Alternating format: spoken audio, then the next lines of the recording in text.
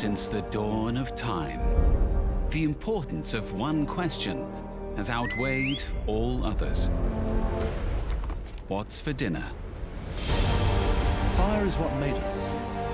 It was a fundamental part of our evolution. It changed the staples of whole continents. A story two million years in the making. Curiosity Stream, Channel 185.